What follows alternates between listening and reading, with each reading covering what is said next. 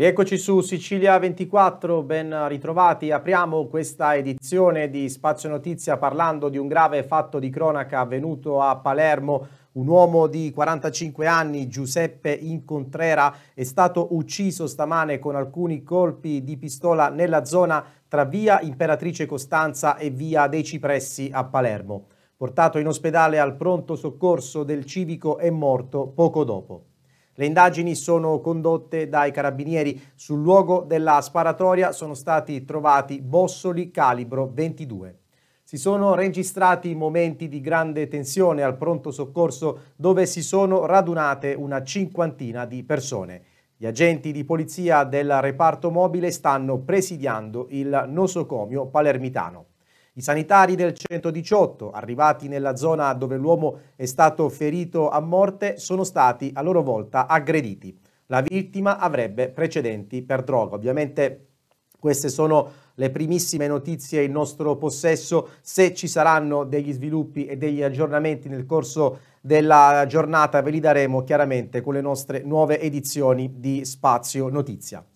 Ancora a cronaca, ci spostiamo però nell'Agrigentino per la precisione a Favara, dove i carabinieri della locale tenenza hanno denunciato in stato di libertà alla Procura della Repubblica di Agrigento un 33enne per l'ipotesi di reato di atti persecutori. L'uomo infatti avrebbe ripetutamente molestato e perseguitato un 28enne parrucchiere agrigentino rivolgendogli anche continue espressioni denigratorie. Esasperato dalle continue molestie, a, a quanto pare senza un valido motivo, il parrucchiere si è rivolto ai carabinieri, i quali hanno subito avviato un'attività investigativa per cercare di fare luce sulla questione.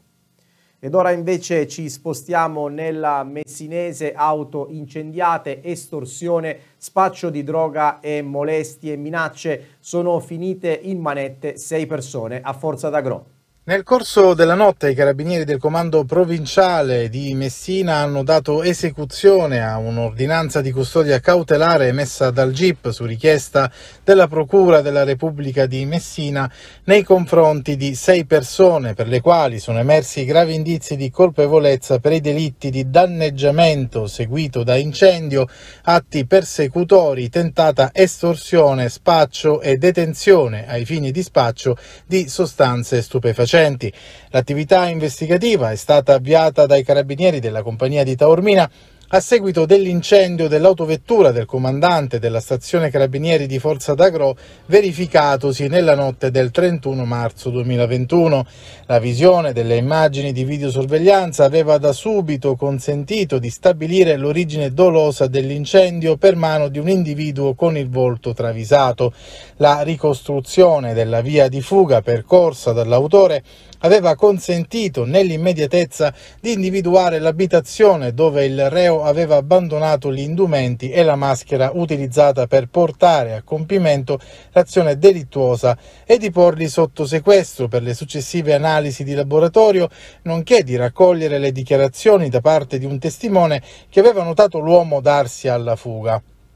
I successivi approfondimenti investigativi hanno permesso di stabilire che l'azione delittuosa era stata condotta da tre pregiudicati del luogo che in passato erano stati arrestati da personale della stazione di Forza d'Agro per alcuni episodi di incendio di diverse autovetture. Il prosieguo dell'attività investigativa ha permesso di accertare la responsabilità degli indagati anche per altri reati, tra cui estorsione, spaccio di droga, minacce, molestie molestie e intimidazioni. Al termine delle formalità di rito, due degli odierni indagati sono stati portati presso la casa circondariale di Messina Gazzi, mentre i restanti quattro sono stati ristretti ai domiciliari. Notizia da Rosolini, i carabinieri della locale stazione hanno arrestato un 34enne per avere più volte violato la misura dell'affidamento in prova ai servizi sociali che lo obbligava a permanere presso la propria abitazione dalle ore 3 alle ore 8 del mattino. L'arrestato, che stava scontando pene alternative alla detenzione per frode informatica e altri reati, su disposizione dell'autorità giudiziaria aretusea, a seguito delle numerose violazioni degli obblighi imposti e documentate dai militari della stazione di Rosolini e della compagnia di Noto, è stato associato alla casa circondariale di Siracusa Cavadonna. A Catania invece un uomo era evaso dagli arresti domiciliari, ha provato a sfuggire a un controllo dei carabinieri ma non ci è riuscito, è stato ovviamente arrestato. I carabinieri del nucleo radiomobile del comando provinciale di Catania hanno arrestato nella flagranza di reato un catanese 29enne gravemente indiziato di evasione e resistenza pubblico ufficiale. Nella scorsa nottata l'attenzione di un equipaggio del nucleo radiomobile in transito lungo il corso Amedeo Duca d'Aosta è stata attratta dalla presenza di due persone all'interno di una lancia Y parcheggiata in maniera sospetta a margine della carreggiata. L'immediato tentativo dei militari di procedere al controllo dei due individui è stato reso vano dalla reazione del conducente di quel veicolo che, dopo aver acceso il motore dell'autovettura, si è lanciato in una rocambolesca fuga lungo protrattasi lungo le vie cittadine, sino al parcheggio di un popoloso condominio del quartiere Librino, ove i due, scesi dall'autovettura, hanno rapidamente guadagnato le scale tentando di far definitivamente perdere le loro tracce. Purtroppo per loro i carabinieri hanno notato l'assenza delle chiavi dell'autovettura dal cruscotto, nonché l'assenza di manomissioni nel blocco elettrico e del bloccasterzo, particolari questi che li hanno ragionevolmente indotti a pensare che uno dei fuggiaschi si identificasse proprio nel proprietario dell'auto, ancor più in considerazione del fatto che quest'ultimo abita proprio in quel civico e che è sottoposto alla detenzione domiciliare. Il successivo controllo all'interno dell'abitazione del proprietario dell'auto presente in casa ha consentito ai militari di riconoscerlo in uno dei due fuggiaschi, circostanza tra l'altro immediatamente ammessa dallo stesso interessato. L'uomo è stato nuovamente posto ai domiciliari dove tuttora permane su disposizione dell'autorità giudiziaria all'esito del giudizio di convalida ma stavolta con l'applicazione del braccialetto elettronico. Ed ora ci spostiamo a Petrosino dove ieri un giovane morto annegato nelle acque appunto di uh, Petrosino. I soccorritori hanno recuperato il corpo in mare tra la zona del Biscione e Sibiliana. La vittima è un 22enne di origine tunisina che nel tardo pomeriggio di ieri si era tuffato per un bagno. Poco dopo però alcuni presenti hanno notato il corpo galleggiare. A causare il decesso del ragazzo potrebbe essere stato un malore.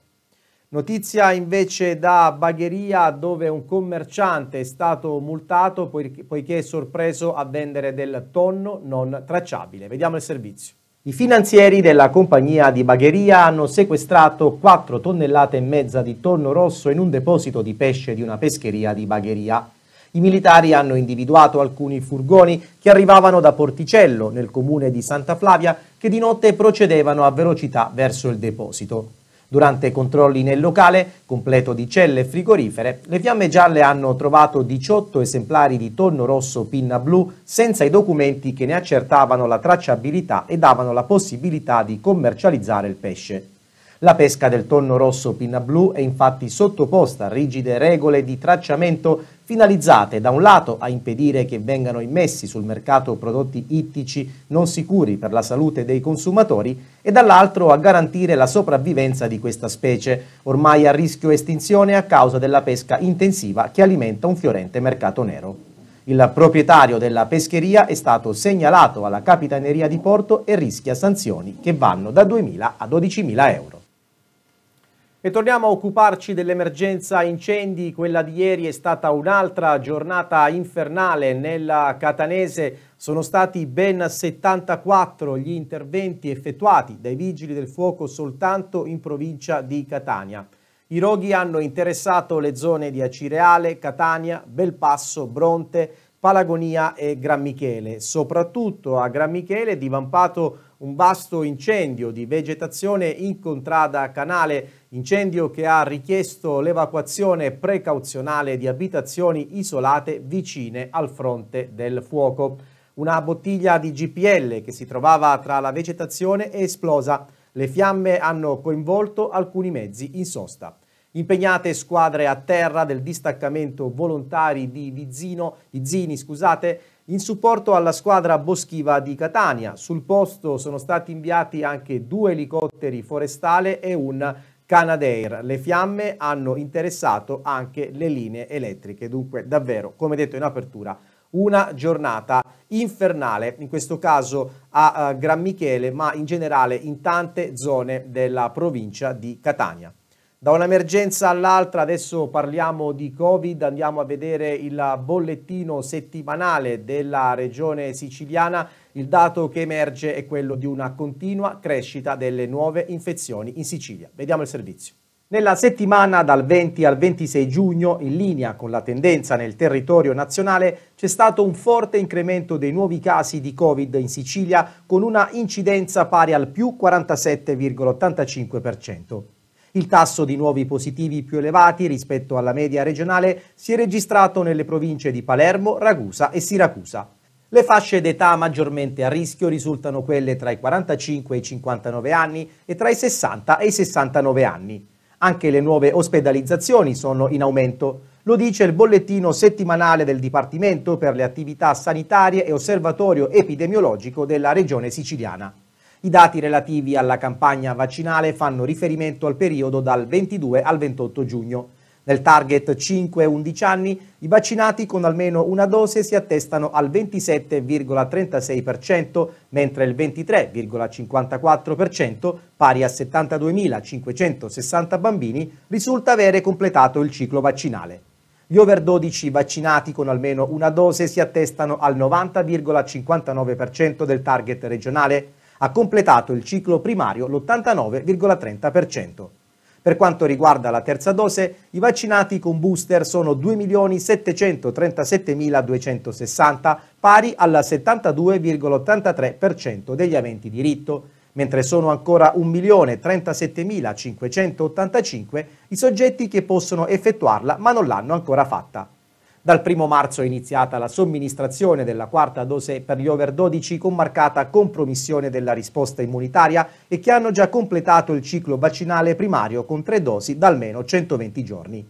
Dal 12 aprile è stata estesa la somministrazione della quarta dose agli over 80, ospiti dei presidi residenziali per anziani e ai soggetti tra 60 e 80 anni affetti da condizioni di particolare fragilità che abbiano ricevuto la terza dose da oltre 120 giorni senza intercorsa infezione da Covid. Dal 1 marzo sono state effettuate complessivamente 34.319 somministrazioni di quarta dose, di cui 24.811 ad over 80. Cambiamo decisamente argomento. Il presidente della regione siciliana, Nello Musumeci, ha partecipato a Trapani alle celebrazioni per il trentesimo anniversario di gestione dello scalo internazionale Vincenzo Florio da parte di Airgest. Sentiamo le parole del governatore siciliano. Io ricordo che quando sono stato eletto presidente della regione si era persa ogni speranza. Noi abbiamo lavorato intensamente come governo, in collaborazione con il Parlamento, abbiamo messo a disposizione decine di milioni di euro, abbiamo rinnovato oh, la governance con eh, un Presidente e un Consiglio di amministrazione competenti ed efficienti. Ho incontrato più volte l'amministratore delegato di Ryanair per eh, concordare un piano di azione. Oggi l'aeroporto di Birgi è tornato ad essere uno straordinario motore di crescita del territorio e al tempo stesso diventa attrattore di capitali. La mia speranza, come sapete, è quella che si possa arrivare in Sicilia ad un unico sistema di gestione. Spero che intanto il sistema aeroportuale diventi della Sicilia occidentale come lo è diventato della Sicilia orientale che poi si possa aggregare anche Pantelleria e Lampedusa. Ci vorrà del tempo, ma anche su questo fronte sono ottimista. E con questa notizia ci fermiamo, chiudiamo questa edizione di Spazio Notizia, ma ovviamente ci ritroviamo più tardi sempre su Sicilia 24. A dopo.